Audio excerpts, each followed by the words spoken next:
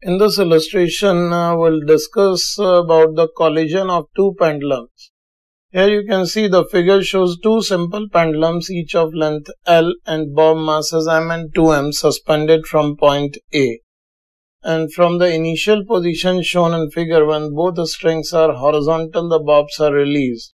We are required to find the maximum height attained by both bobs after elastic collision. Here in this situation we can see when these two bobs are released from rest and from this point A we can see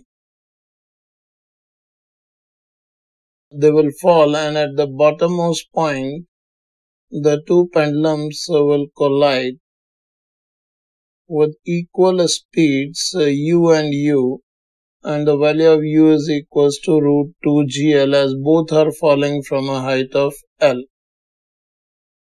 Now in this situation as the two masses are different for the bobs, the final velocity after collision would be different.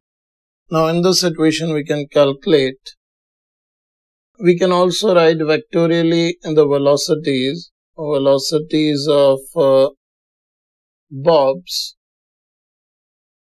before collision are here we can write u1 for the first bob which is of mass m. It can be written as uh, root 2gl and u2 for the second bob as it is moving in opposite direction we can write as minus root 2gl. Here it is not necessary to represent these as vectors as a negative sign in one dimensional uh, motion itself represent the opposite velocity and after elastic head-on collisions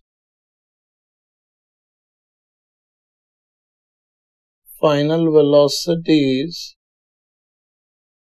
of bobs are here we can directly use the results for v1 and v2 which we already studied in concept videos which is m1 minus m2 upon m1 plus m2 multiplied by u1 plus 2m2 upon m1 plus m2 multiplied by u2.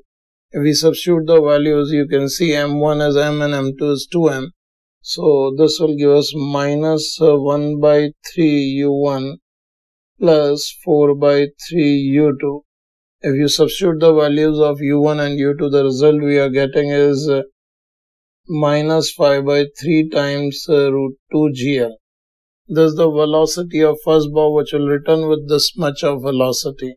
And uh, similarly we can find out the velocity of uh, second bob which is given by the result uh, m2 minus m1 upon m1 plus m2 u2 plus 2 m1 upon m1 plus m2 into u1. On substituting the values uh, m2 as 2m and m1 as m. This will give us 1 by 3 u2 plus 2 by 3 u1 on substituting the values this gives us 1 by 3 times root 2 gl now here you can see for first bob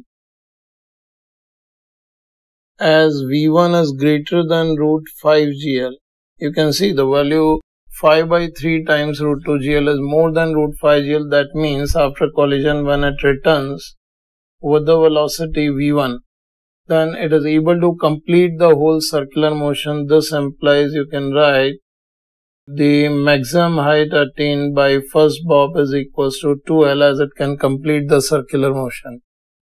Uh, there's one answer for the problem. And similarly, we can write for uh, second bob